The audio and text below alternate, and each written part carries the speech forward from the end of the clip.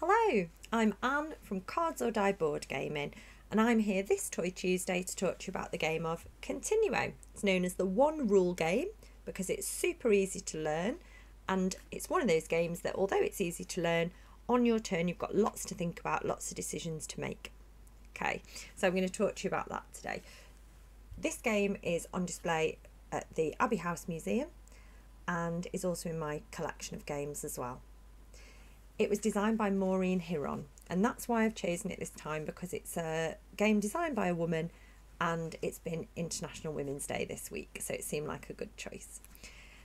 Maureen Hiron was um, more famous for playing bridge in her day. She represented England and Great Britain at bridge, so she was a fantastic bridge player um, and she enjoyed traditional games. She was a PE teacher at a London Comprehensive um, she was pensioned off due to uh, an accident that she had. Um, and the accident that she had was that an air conditioning unit fell on her head. Ow. It did such damage that it was it was supposed to be like a stroke, the damage that it did to her.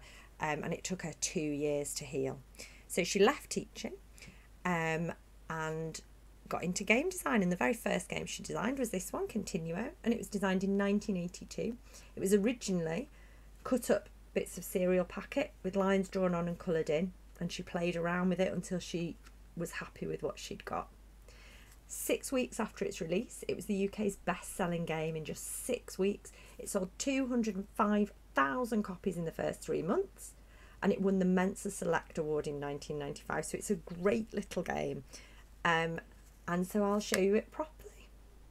So I bought my copy of Continuo in Oxfam um, and I have to say when I picked it up I didn't even really know that it was a game. It's got this burgundy packaging. It's very peculiar looking little box. When I got it, it wasn't this battered, but it's been well loved and well played, so it's uh, it's become a bit battered. Okay, so you can see it's kind of falling apart a bit there's the rules, just a tiny little rule book.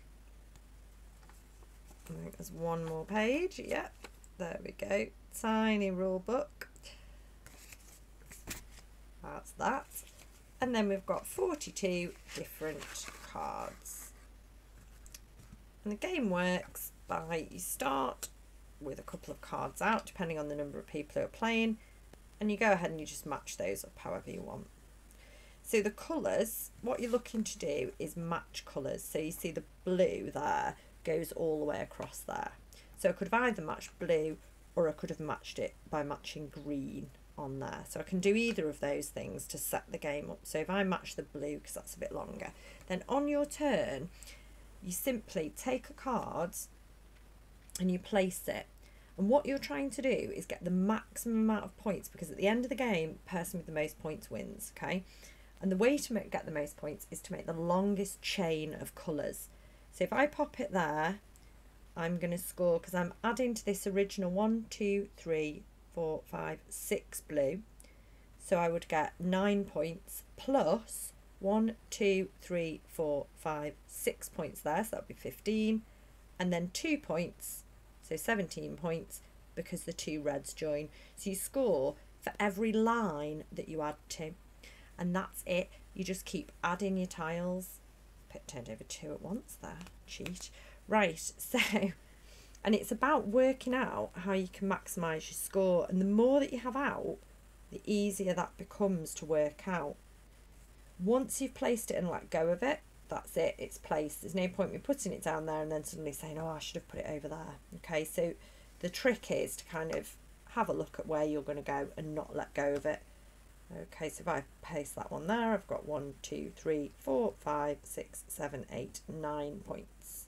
Oh, 10, 11. Okay, and that's it. You just keep placing your tiles. There's all different patterns, all different arrangements, and you just keep placing your tiles. It takes up quite a lot of space on the table it's a really satisfying game and you, points tend to accrue more and more and the more tiles that are down the more decisions there are to make and the more there is to think about but like she said herself like Maureen Hiron said it is the one rule game you just matching colours and it's just super simple but really enjoyable and this copy is from 1982, so this is a vintage copy.